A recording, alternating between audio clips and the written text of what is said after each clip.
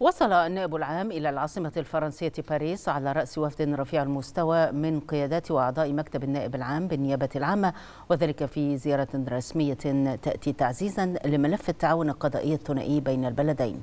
ويشمل برنامج الزيارة حضور حفل مهم تنظمه السفارة بمقرها بالعاصمة الفرنسية لاسترداد قطعتين أثريتين قضت المحكمة الفرنسية بإعادتهما إلى مصر ومعاقبة المتهم في القضية التي تعد واقعتها واحدة من سلسلة جرائم منظمة عابرة للحدود ارتكبتها جماعة إجرامية دولية متعددة الجنسيات.